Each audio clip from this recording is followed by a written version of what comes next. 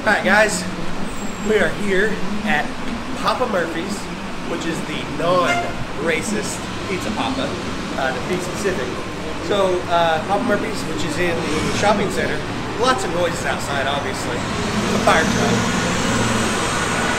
I'm just autographing the pizza box. Is that, am I supposed to do that? You can. Okay.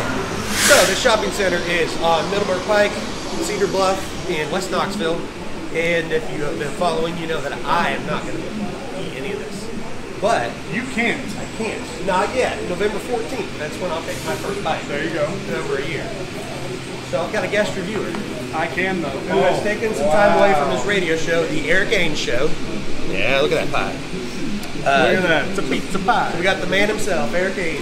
And you like pizza? I love pizza. So, And I know I love Papa Murphy's pizza. Shameless plug, papamurphys.com. which by the way, it's take and bake, so they won't do this for you. Handmade by them, home baked by Yeah, all fresh. So, uh, Erik, why don't you take a piece?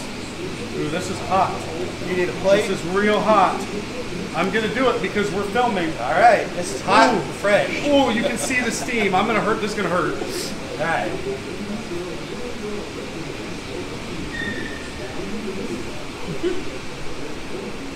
Other than it being way too hot, Think about it for a second. Let it marinate in your mouth.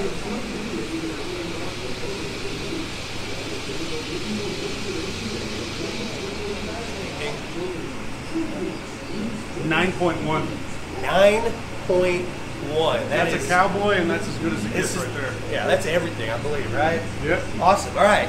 So, Saddle up, partner. Papa Murphy's, West Knoxville, 9.1 from Erik Ainge. This is Ben Miller.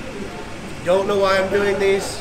I have a uh, link in the comments to the uh, I was just wiping my hand on it. other videos.